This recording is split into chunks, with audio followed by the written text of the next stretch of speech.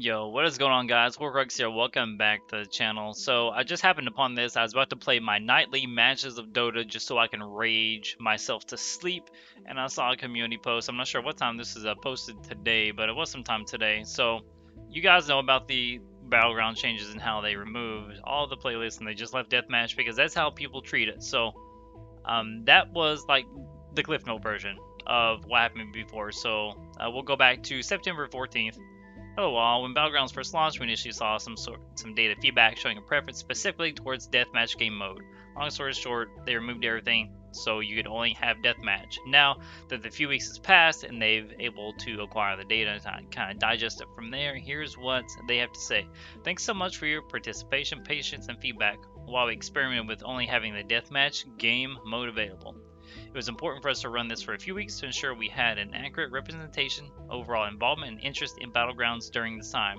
Me personally, I only play Deathmatch, but you know, that's just me. I don't really care too much about the objective game types, but uh, a lot of people do, and that was the point Gino uh, had to say in here. So, first, it's valuable to note the general feedback on this test was quite polarizing. While there were certainly a lot of players that loved only having deathmatch available, there was just as many players that did not enjoy it. A frequent complaint we saw, though, was the disappointment that we removed something that is ultimately at a core of our game the freedom of choice.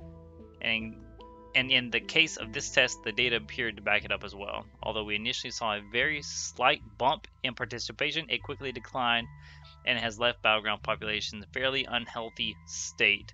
So that's a really good point. Um, forcing people to only play deathmatch is not uh, not good. You know, a big firm believer in you are free to sever the chains of fate that bind you.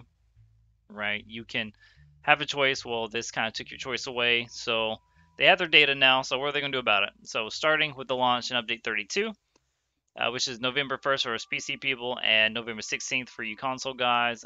My heart goes out to you. I miss you all. We'll be giving you more choices to decide which game modes to queue, and depending on if you're playing solo or with a group, these will include Solo Deathmatch, Solo Random Battlegrounds, Group Deathmatch, Group Random Battlegrounds. I think that's pretty good because the population is kind of scarce, so you don't want to put in too many playlists, otherwise you'll never find a match. So one thing to keep in mind is the random queue will include all game modes, flag game modes, land grabs, and deathmatch. So the likelihood of getting deathmatch is going to be higher for those queuing into the game mode specifically. We'll continue to monitor the sentiment and participation rates of the battlegrounds once this rolls out next month, and we'll let you know if we pl plan for any additional changes. Thanks again for posting all your thoughts during this time. So, um, pretty cool.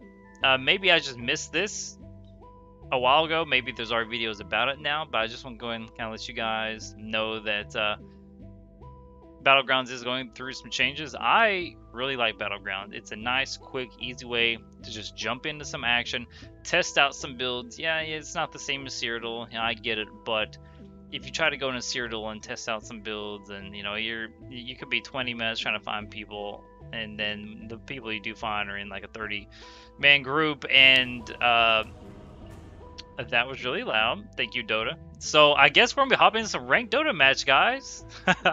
but uh, thank you all for watching, and I'll kind of keep you updated on any more changes going forward. And I will see you all in the next one.